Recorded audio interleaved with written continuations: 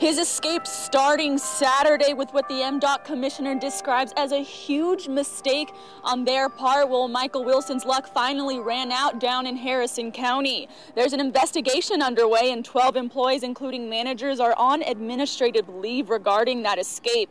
The biggest mistake happening when Wilson's inmate status was changed from closed custody to medium custody, and that is how he was taken out of maximum security.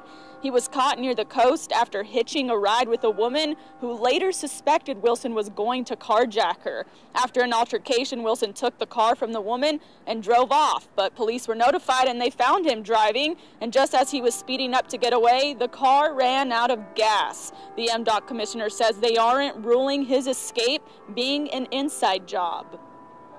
Wide open. And so if it is, we'll see it. We suspect that everything, but we really suspect nothing.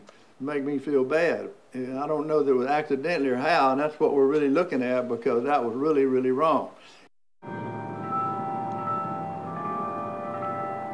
It's not his first escape either, but during his most recent breakout, he was in and out of UMMC twice for injuries and walking out of the hospital without any questions. He was originally facing two life sentences, but now there could be more charges pending. Wilson will be heading to Walnut Grove Correctional Facility.